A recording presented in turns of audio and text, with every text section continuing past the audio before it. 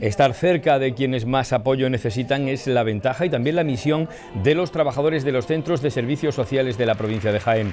Con motivo del 30 aniversario de estos centros, los profesionales se han reunido esta mañana en la capital jienense. Ha sido un encuentro para reconocer la labor de estos profesionales y también para reflexionar sobre este servicio una falta de empleo que, que, lleva ya sufriendo durante un tiempo que ha agotado sus prestaciones por desempleo, las prestaciones de tipo contributivo, y que necesita acudir a, prestaciones de carácter asistencial.